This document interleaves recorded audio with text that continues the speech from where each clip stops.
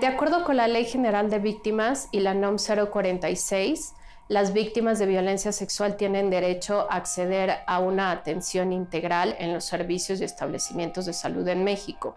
¿Esto qué significa? De acuerdo con el artículo 35 de la Ley General de Víctimas y todos los servicios contemplados en la NOM 046, eh, esto incluye eh, toda la atención a las lesiones físicas que puedan presentar derivadas de la comisión del delito, pero también toda la atención a su salud sexual y reproductiva, el cual eh, implica el acceso a pastilla de anticoncepción de emergencia con el propósito de prevenir posibles embarazos no deseados como resultado de la agresión, también eh, la detección de infecciones de transmisión sexual, la provisión de profilaxis para evitar eh, infecciones de transmisión sexual y finalmente eh, el acceso a la interrupción voluntaria del embarazo o aborto en casos de violación. Respecto del acceso de interrupción voluntaria del embarazo, la NOM 046 fue actualizada en el 2016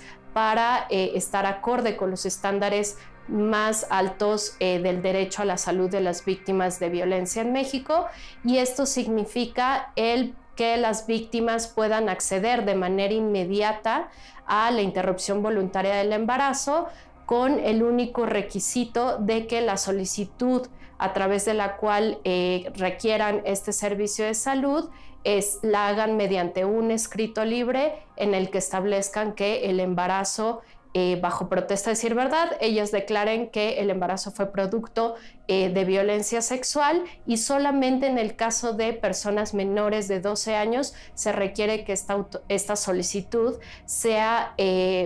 realizada por parte de padres, madres o tutores legales. Esto es, se reconoce la autonomía de las personas adolescentes para solicitar los servicios directamente ante eh, los establecimientos de salud.